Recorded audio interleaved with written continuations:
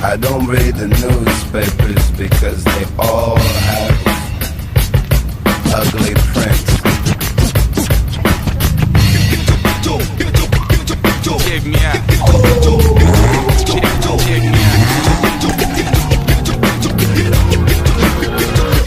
At the starting of the week, I tell me Talk Show.